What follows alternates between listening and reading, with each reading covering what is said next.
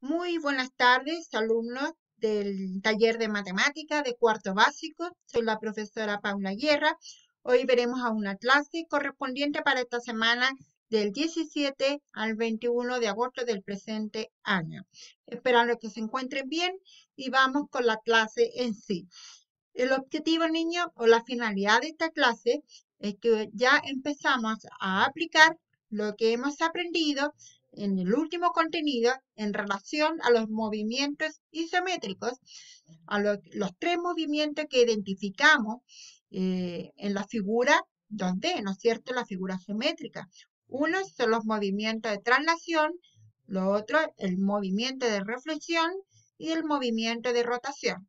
Entonces, al final de la clase, en la actividad se van a encontrar con una guía que deben resolver eh, aplicando todo lo que han aprendido y todos sus conocimientos con respecto a los movimientos isométricos. Entonces, pero qué mejor empezar por recordar un poco cada uno de estos conceptos con algunos ejemplos, aclarar ciertos puntos y finalmente vamos a ver cómo se resuelve la actividad. Con esto terminamos este contenido para pues, después ver un nuevo contenido que tiene que ver con la medición del tiempo, saber, eh, digamos, saber a leer la hora en forma digital y análoga. Así que comencemos. Eh, el primer concepto que ustedes aprendieron, lo que era traslación de figura. La palabra lo dice que es trasladar la figura isométrica, pero tienen que tener ciertos requisitos.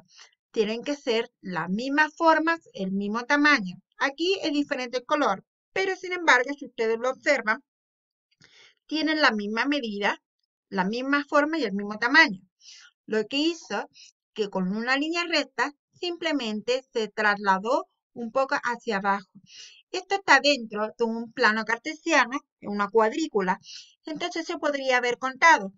Si este punto, si me guío por este punto, entonces tengo que copiar esa traslación lo traslado hacia la derecha contando ese punto. Este punto tiene que llegar aquí, ¿no es cierto? Y contamos.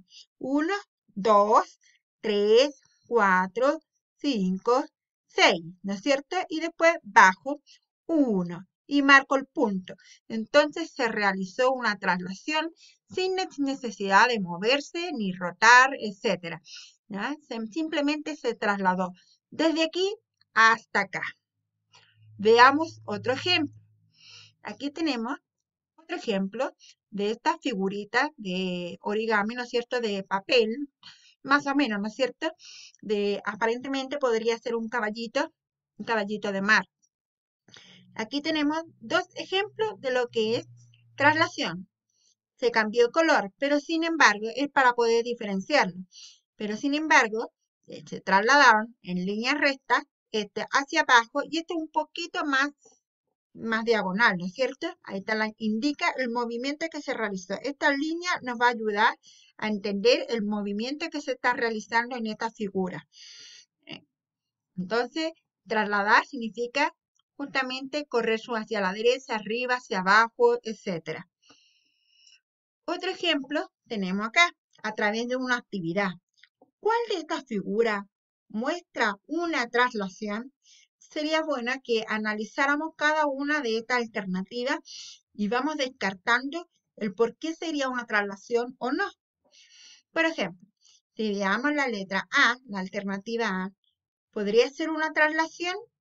Piénsenlo un poco. Ya. ¿Lo vieron? Pues claro, los dos tienen la misma forma, el mismo tamaño pero sin embargo no es una traslación, sino más bien una rotación, ¿ya? Porque se cambió su posición y está como girando. Eso no me sirve. La alternativa B tampoco, ¿no es cierto? Pues claro, esta es más grande en su tamaño y esta no lo es. Recuerden que para que se cumpla ese movimiento deben ser la misma forma y el mismo tamaño. Por lo tanto, la letra B no me sirve. Si me voy a la letra C, veamos, ¿sería una traslación? Por supuesto que sí. Los dos son del mismo tamaño, la misma forma y simplemente se trasladó hacia la derecha. Yo diría que la alternativa C corresponde a lo que es una traslación. Veamos la letra D. No, tampoco, ¿no es cierto? Pues esta punta está contrapuesta a la otra punta. Entonces significa que es otro tipo de movimiento. ¿Se recuerdan cuál? Exactamente, el de reflexión. Por lo tanto, tampoco es una traslación. De estas cuatro alternativas, la respuesta correcta es la letra C. Ahora veamos y recordemos lo que es la reflexión.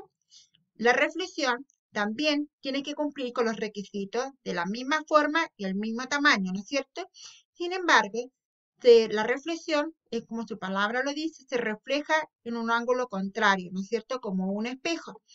Tenemos el eje de la simetría, pero si ustedes observan bien, este si bien es igual a la otra, pero está en forma opuesta. Ese sería un, claro ejemplo de lo que es reflexión. Aquí tenemos otro, que es muy parecido a una de las imágenes que vino vimos anteriormente de los triángulos. Esta punta está en la otra punta, pero los dos son de la misma forma y tamaño, pero se refleja como un espejo. Entonces, para que lo entiendan bien, Existe reflexión cuando dos figuras tienen igual tamaño, la misma forma y están en posición inversa o enfrentadas. Entonces, esto es la reflexión. Aquí tenemos un plano cartesiano donde se ubicaron los puntos, las coordenadas, en el plano eje, la eje X y la Y, ¿no es cierto? Pero ahí están a la inversa son de diferentes colores, pero en el fondo es para poder diferenciar, entender, ver el movimiento. Pero sin embargo cumplen con la eh, expectativa de que, se, que sea de la misma forma y del mismo tamaño. Ahora veamos a lo que es la rotación. La rotación, como su nombre lo indica, va girando la figura. Aquí tenemos dos ejemplos. Este sería muy conocido, ¿no es cierto? El remolino. El remolino, todas tienen su misma forma, la mismo tamaño, ¿no es cierto? Pero gira hacia la derecha o hacia la izquierda. Lo mismo con esta figura. ¿eh? Se va girando. Puede girar hacia la izquierda o hacia la derecha. A esto se le llama rotación. Y puede girar en diferentes ángulos, en 90, 160 o, un ángulo completo. Y eso lo vamos a ver más adelante porque estas fueron una de las dudas, inquietudes que tuvieron ustedes. Aquí tenemos otro ejemplo de lo que es la rotación de figura. De esta se corre, se podría correr hacia la izquierda, ¿no es cierto? O hacia la derecha, pero siempre de la misma forma y el mismo tamaño. Entonces, antes de ir a la actividad, me gustaría que, que veamos un, otro pequeño, por decirlo así, un otro documento que nos va a ayudar a nosotros a entender cómo se trabaja. ¿Ya? Acá dice, actividad 1.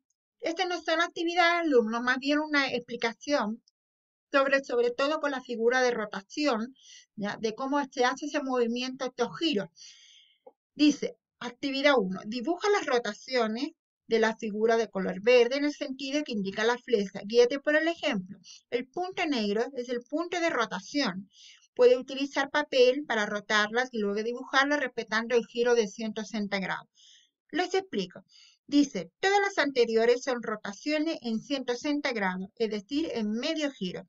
Si esta es la figura inicial, niños, si esta es la figura inicial, cuando se le pide girar, por ejemplo, hacia la izquierda, en 160 grados. Este ese movimiento es la mitad, ¿no es cierto?, de un círculo entero. 160 es la mitad. Entonces, este es un movimiento se llama de 160 grados. Lo mismo pasa acá. Esta es la figura inicial. Entonces, va a girar 160 grados y lo dibujo. Este está girando también a 160 grados, medio giro, pero hacia la derecha y se mantiene el mismo punto a la misma distancia y obviamente que la figura tiene que ser de la misma forma y el tamaño. ¿ya? Pero esto significa girar en 180 grados, o sea, medio giro. Bueno, Aquí tenemos el caso de traslación, ¿ya? cómo eh, trasladar la figura. Simplemente este punto, contar la cuadrícula y dibujar la misma figura. ¿Ves? De este punto, contar la cuadrícula y la flecha nos va a indicar hacia dónde queremos trasladar la figura. Lo mismo acá, de este punto y la flecha nos va a indicar que tenemos que trasladarlo y dibujarlo acá tal como aparece eh, aquí. En otra actividad dice, observa que en las siguientes imágenes se han representado rotaciones de los segmentos señalados de color verde en los sentidos que indican la flecha. Pero aquí tenemos un cuadro que nos va a ayudar a entender eh, el tipo de movimiento que se realiza. Este ustedes ya lo vieron en una clase anterior cuando vimos los diferentes tipos de ángulos y cómo se medían los ángulos, ¿se acuerdan? Pues bien, ustedes recordarán esto, la figura 1 está haciendo un movimiento de 90 grados. Ustedes observan esto, me dicen al tiro 90 grados. Esto, como es la mitad de, una, de un círculo completo. Entonces, es un giro de 160 grados, o sea, medio círculo. De acá, de aquí para allá, otra vez está haciendo un movimiento de 160 grados. Y esto, si ustedes lo miran bien, es muy parecido a la figura 1, solo que está inclinado hacia abajo, ¿no es cierto? Entonces sería un giro de 90 grados. ¿Se dan cuenta? No era tan complicado, era solo cuestión de imaginarse los movimientos de los giros. 90 grados, 160 grados, ¿ya? Para que le quede mucho más claro.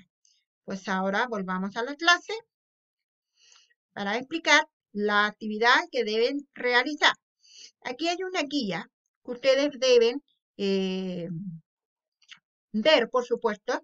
La vamos a agrandar para que se vea bien. Dice, encierra la alternativa correcta.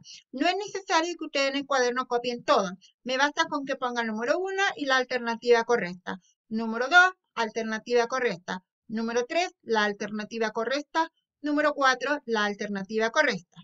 Dice, encierra la alternativa correcta. Número 1, el movimiento que se observa en la figura. ¿Qué es? Este con respecto a este o al revés, este con respecto a este. ¿Qué será reflexión, una traslación, un giro, una traslación y una simetría? Número 2. El movimiento que se observa en la figura. Este movimiento con respecto a este. ¿Qué es? Reflexión, traslación, un giro, una traslación y una simetría. Número 3. ¿Cuántos ejes de simetría tiene la figura? ¿Se puede hacer una simetría? ¿Sí o no? ¿Y cuánto tienes? ¿Ningún eje? ¿Un eje? ¿Dos ejes o tres ejes? De la figura, de esta figura, podemos decir que, si ustedes miran bien, aquí hay una línea que lo divide, ¿ya? Que es el eje de la simetría de esta figura, para que no se confundan. De la figura podemos decir que A, se efectuó una traslación, se efectuó una reflexión, se efectuó un giro o se efectuó una traslación y una reflexión para que lo analicen bien y coloquen la respuesta. Recuerden, en el cuaderno me basta con que pongan una y la respuesta correcta. No es necesario que copien todo. La otra actividad. Dice, aquí yo creo que en el cuaderno sí lo deben responder, como porque es una actividad de desarrollo. Dice, pinta cada figura del lado derecho, lo pintan, y después escribir si es reflexión, traslación o rotación. Lo van a pintar y van a comparar esta figura con esta. Y me, van a indicar qué tipo de movimiento realizó. Traslación, reflexión o rotación. Lo pintan, fíjense bien la línea de simetría y van a escribir el resultado en, al lado. Lo pintan, lo analizan bien, lo observan bien y colocan su resultado y lo mismo con la última. Estas son las dos actividades que deben estar realizadas en su cuaderno y enviarlo a mi correo paulaatenea.osmel.com. Para preguntas, dudas e inquietudes, también lo pueden hacer a través de este medio. Bien, alumnos, Cuídense, saludos a la familia y que tengan una bonita semana. Nos estamos viendo en una próxima ocasión. Nos vemos. Chao.